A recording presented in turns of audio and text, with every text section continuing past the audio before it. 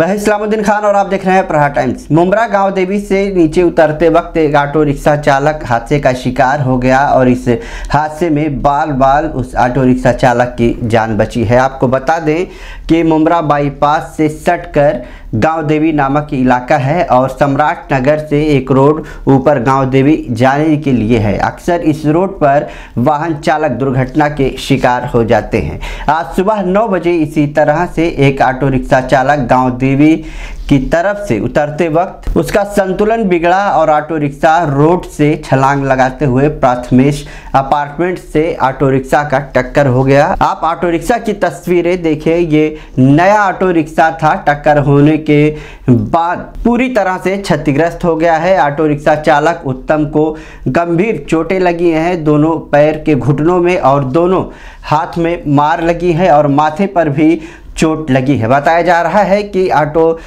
की रफ्तार काफ़ी तेज़ थी और तस्वीरें देखें कि रोड से इमारत भी काफ़ी दूर है। तेज़ रफ्तार ऑटो यहाँ से सीधा इमारत से जाकर टकरा जाता है। गनीमत ये रही कि उस वक्त वहाँ कोई मौजूद नहीं था, वरना उसका बचना भी मुश्किल हो जाता। प्राथमिक अपार्टमेंट में रहने वालों ने बताया कि जो भी गाड़ी गाँव देवी की तरफ़ से उतरती है, उसकी रफ्तार काफ़ी तेज़ होती है, करीब दो से तीन बार इसी तरह के हादसे हो चुके हैं। इसलिए इमारत की बाउंड्री दीवार से लगकर गड्ढा खोदकर छोड़ा गया था, मगर इस रोड की डामरीकरण करने वालों ने गड्ढे को बंद कर दिया। और आज हुए हादसे की वजह ब्रेकर भी बताई जा रही है, क्योंकि ये जो रोड बनाया गया है, ये डामर और गिट्टी से बनाया गया है, जिसकी वजह से वहाँ जो मौजूद ब्रेकर है, वो दिखाई नहीं दे रहा है। प्रथमेश अपार्टमेंट में रहने वालों ने बताया कि अभी कुछ ही दिन हुए हैं इस रोड को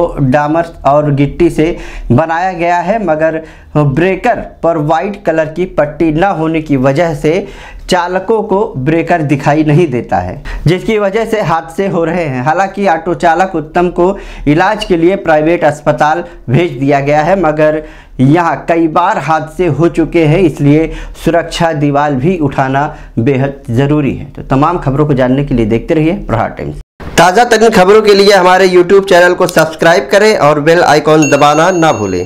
अगर आप फेसबुक पर देखते हैं तो हमारे पेज को लाइक करें।